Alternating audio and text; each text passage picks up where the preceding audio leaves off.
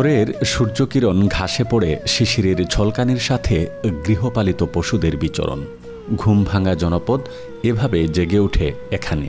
দিগন্ত জুড়ে হাওরে সাদাবকের সঙ্গবদ্ধ ওড়াওড়ি কিংবা বনবাদারে ঝোপে নানা প্রজাতির পাকপাখালির কিচিরমিচির বাংলার চিরায়ত দৃশ্য। প্রতিদিনকার চিত্র এটি। হাওরের দুপাশ ধরে সরল রেখার ন্যায় দীর্ঘ সড়ক থাকে জনমানবহীন। কর্মব্যস্ততায় এক দুজন করে দৃশ্যপটে ধরা পড়ে শ্রমজীবী মানুষেরা। বাংলাদেশে যে আষট্টি হাজার গ্রাম রয়েছে, তার মধ্যে গ্রামের মহারাজ হিসেবে ডাকা হয় আমি যে এলাকাটাতে আছি, এটিকে। অর্থাৎ হবিগঞ্জের যে এই বানিয়াচং গ্রাম, যেটি বইয়ের ভাষায় সংজ্ঞায়িত করা হয় গ্রামকে, ঠিক তার বিপরীত। আমরা যতটুকু জানি যে কয়েকটি পাড়া বা মহল্লা নিয়ে একটি গ্রাম। কিন্তু এই বানিয়াচং গ্রামটি হচ্ছে একই গ্রামের মধ্যে তিনটি ইউনিয়ন। একসময় এটি দক্ষিণ এশিয়ার সবচেয়ে বড় গ্রাম হিসেবে চিহ্নিত করা হলেও বর্তমানে বলা হচ্ছে এটি হচ্ছে বিশ্বের সবচেয়ে বড় গ্রাম। দর্শক, আজকে আমরা এই গ্রামের ইতিহাস, ঐতিহ্য তুলে ধরব। বর্ণনায় যেমন গ্রামটি সুন্দরে সুন্দর, তেমনি ইতিহাস ঐতিহ্যেও পরিপূর্ণ অবিশ্বাস্য রকম বিশাল গ্রামের নাম হল বানিয়াচং, যার অবস্থান হবিগঞ্জ জেলায়। গ্রামের নামকরণেই উপজেলাটির নাম হয় বানিয়াচং। স্থানীয়রা এই গ্রামটিকে এশিয়ার মধ্যে সবচেয়ে বড় গ্রাম, আবার অনেকেই পৃথিবীর সবচেয়ে বড় গ্রাম হিসেবে আখ্যায়িত করে থাকেন। বিশাল আয়তনের কারণে চারটি ইউনিয়নে ভাগ করা এই গ্রামটি বর্তমানে বাংলাদেশের অন্যতম উন্নত একটি গ্রাম।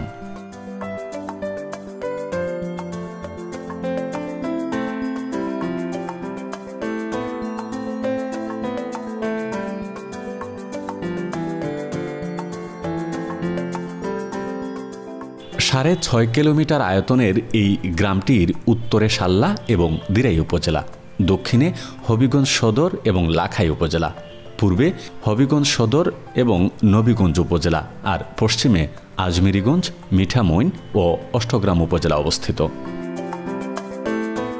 বানিয়াচং গ্রামটি দুপাশে খাল, বিল হাওয়ার দ্বারা পরিবেষ্টিত। শুকনো মৌসুমে গ্রামের দৃশ্যপটের ঠিক বিপরীত চিত্র এখানে। পানি থাকলে গ্রামটি যেন বিশাল পানিরাশির মাঝখানে স্বচ্ছ সবুজ শ্যামল একটি ভাসমান দ্বীপ মনে হয়। মহাগ্রাম বানিয়াচংয়ের জনসংখ্যা প্রায় দুই লক্ষের কাছাকাছি। আয়তন ও জনসংখ্যার ভিত্তিতে পৃথিবীর বড় গ্রাম হিসেবে পরিচিতি পেয়েছে এই গ্রামটি। বই পুস্তকে এবং মুরব্বীদের কাছ থেকে জানছি যে এটা বানিয়াচং আসলে একটা ওই জলাভূমি ছিল। আর এখানে ব্যবসার উদ্দেশ্যে বণিক সম্প্রদায় এসেছিল। এই সম্প্রদায় আসার পর এখানে তাদের থাবু স্থাপন করে এবং হঠাৎ করে ওই তাবুটার পানি সরে যায় এবং শুকিয়ে গেলে পরে তারা জাহাজটা আটকে যায়। যার ফলে ওই চর থেকে বানিয়া চং আর ওই যে বণিক সম্প্রদায় আসলো, ওই বানিয়া আর চর থেকে হইল চং। এইলো বানিয়াচং লাউরের রাজধানী ছিল বানিয়াচুং আর বানিয়াচুংয়ের যে প্রাণকেন্দ্র আমাদের এখনকার রাজবাড়ি এই রাজবাড়িতে রাজা কেশব মিশ্র বসতি করেন। উনি পরবর্তীতে মুঘলদের দ্বারা আক্রান্ত হয়ে ধর্মান্তরিত হন। তখন ওনার নাম হয় হবিব খা। রাজা হবিব খা থেকে আজ পর্যন্ত আমরা আছি, আমাদের রাজবাড়িতে বসতি করছি।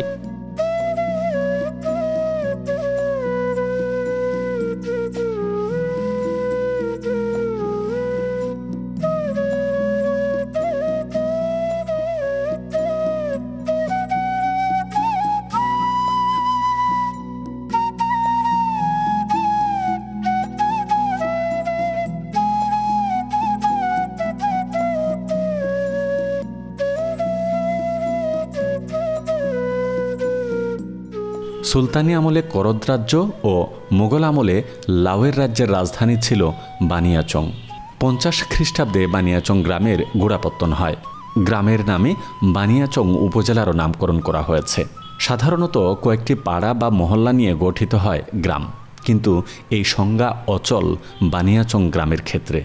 একসময় হিন্দু অধ্যুষিত এলাকা হলেও এখন সেটি মুসলিম অধ্যুষিত এলাকা হিসেবে পরিচিত।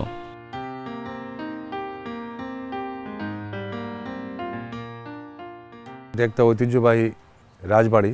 এটা মুঘল আমলে এই, এইটার অরিজিনাল ইতিহাসটা হইল হিন্দু রাজা ছিল এখানে।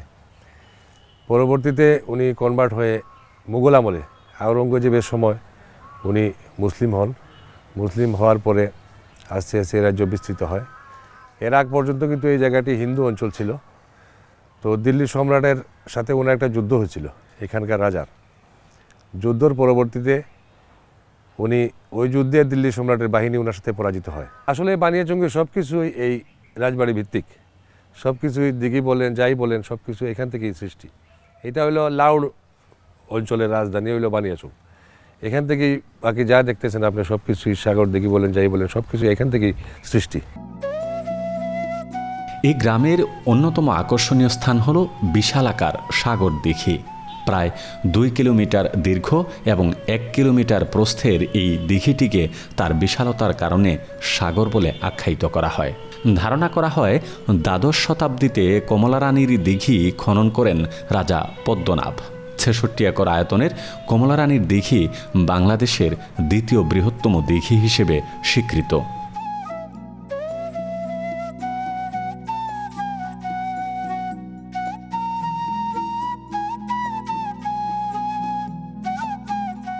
দিঘির আশেপাশে যে সকল ঘরবাড়ি গড়ে উঠেছে, সেগুলোতে এখনও অতীতের অনেক স্থাপনার ধ্বংসাবশেষ আছে অরক্ষিতভাবে। ধ্বংসাবশেষের মধ্যে পাথরের দালানের চারটি পিলার দণ্ডায়মান রয়েছে এবং এর চারপাশে বেলে ও মার্বেল পাথরের খণ্ড বিখণ্ড বলে দেয় এর ইতিহাস কত সমৃদ্ধ। আর এসব ধ্বংসাবশেষ নিয়ে স্থানীয়দের মধ্যে রয়েছে নানান অলৌকিক ধারণা।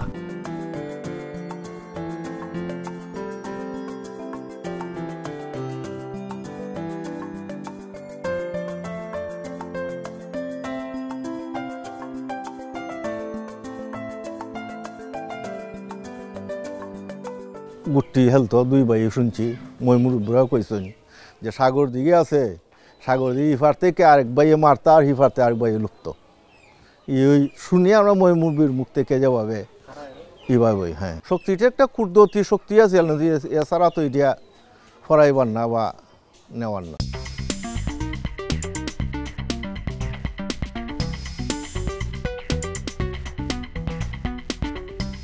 গ্রামে এখনও কালের সাক্ষী হয়ে আছে রাজবাড়ি। বাধাই করা পুকুরঘাটে গড়ে ওঠা এই রাজবাড়ি যেন প্রাচীন ঐতিহ্য ও ইতিহাসের অন্যতম উদাহরণ। একসময় রাজাদের খনন করা দেওয়ান দিঘি বর্তমান রাজবাড়ির সামনে বিশাল জলাশয়। দিঘির এক পাড়ে রয়েছে রাজাদের নির্মিত ঘাটলা। এ ঘাটলা এখনও সবার দৃষ্টিকারে। প্রাচীন রাজারা নেই। নেই তাদের শাসন, তবে এখনও রয়েছে তাদের শাসনকালের নানান স্মৃতি। এ বাড়িতে বসে লাউড রাজ্য শাসন করতেন ওইসব রাজারা। মূলত এখান থেকেই গড়ে উঠে বানিয়াচং তথা এ অঞ্চলের পুরো জনপদ।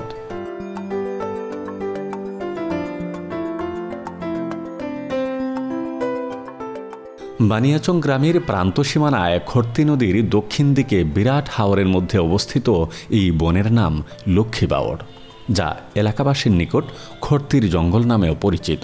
এখানে প্রকৃতির বিচিত্র রূপ সত্যিই বিস্ময়কর। জঙ্গলের অসংখ্য গাছপালার সবুজ অরণ্য পরিবেশকে এক নান্দনিক রূপ দিয়েছে। হিজল করচ কাকুড়া, খাগড়া, নল অসংখ্য গাছ ও গুল্ম পরিপূর্ণ এই জলারবন মাছ ও পাখিদের জন্য নিরাপদ এক আশ্রয়স্থল।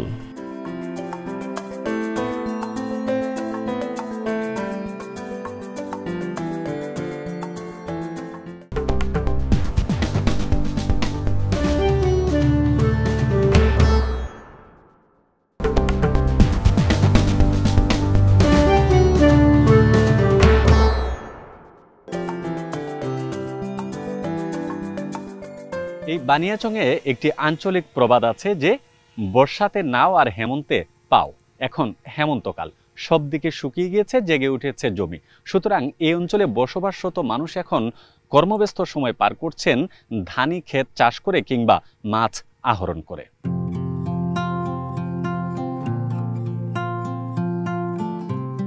গ্রামের জনসংখ্যার অধিকাংশই কৃষি ও মৎস্যজীবী।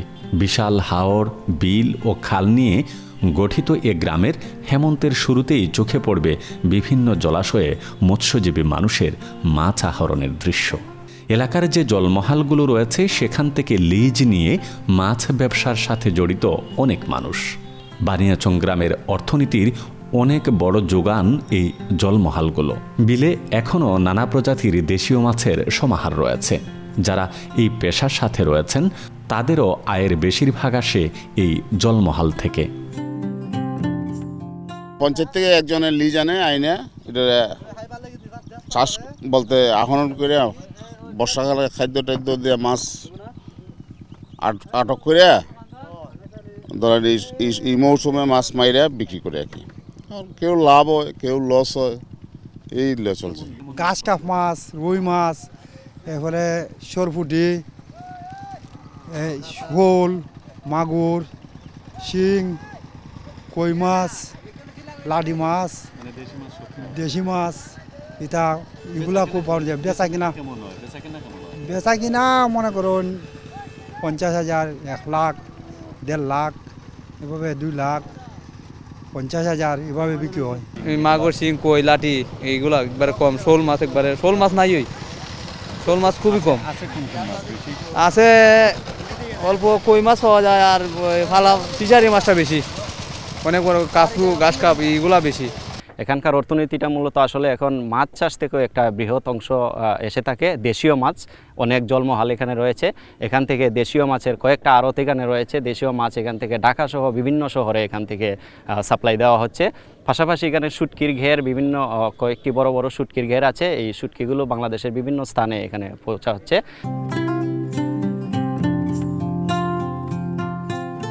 পাখির চোখে হাওর দেখলে বোঝা যায় বানিয়াচং গ্রামটি কত বর্ণিল। গ্রামীণ রাস্তায় রাখালের গরুর পাল কিংবা কৃষকদের সোনালি ধান সংগ্রহের দৃশ্যই যেন চিরায়ত বাংলার রূপ মেলে ধরে। রাস্তার দুপাশে ধানের ক্ষেতের বাতাস নেচে যায় আপন মনে। তবে এই এলাকাটিতে কেবল ধানই নয়, বরং যোগের সাথে তাল মিলিয়ে চাষাবাদে এসেছে অনেক পরিবর্তন। ধানের পাশাপাশি অনেকেই সবুজ ভূমিতে ফলাচ্ছেন নানান ধরনের সবজিও। বিশেষ করে শীতকালীন সবজি আবাদ বেড়েছে বহুগুণ, আর তাতে লাভবানও হচ্ছেন কৃষকরা। জীবনমানেও এসেছে তাদের পরিবর্তন।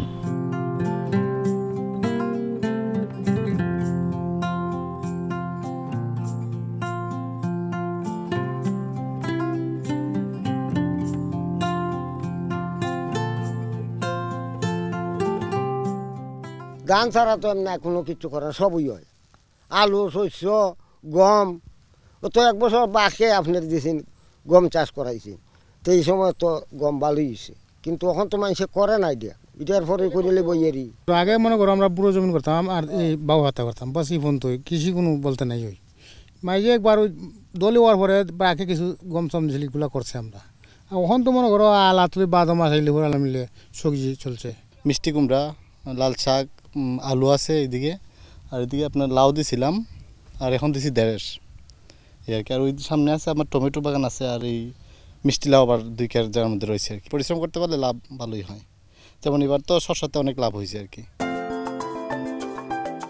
তবে স্বাধীনতা পরবর্তী সময়ে বানিয়াচং গ্রাম আর গ্রাম নয়, এটি এখন একটি পরিবর্তিত নগর।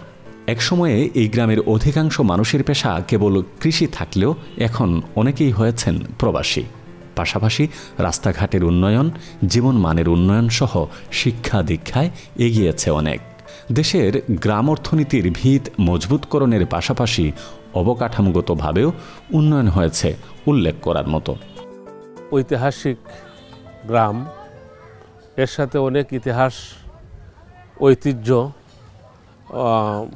গৌরব জড়িত রয়েছে। স্বাধীনতার সময়ে, মুক্তিযুদ্ধকালীন সময়ে এই গ্রামের অনেক বড় বড় মুক্তিযোদ্ধা, সাবেক মন্ত্রী সিরাজুল হোসেন খান এবং নাজমুল হোসেন খান সহ অজস্র মুক্তিযোদ্ধা এই গ্রাম থেকে গোটা বাংলাদেশকে তারা লিড দিয়েছেন।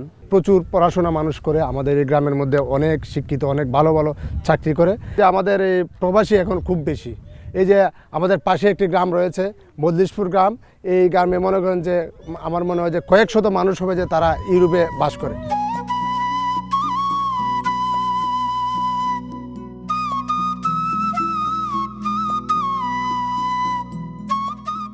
ইতিহাস ও ঐতিহ্যগত দিক থেকে সুপ্রাচীন এই বানিয়াচং গ্রামটিতে যখন সন্ধ্যা নামে, তখন আবিরের রঙে হারানো ধূসর বিকেলে শেষ মুহূর্তে ডুব খেলায় মেতে ওঠে হাঁসেরা।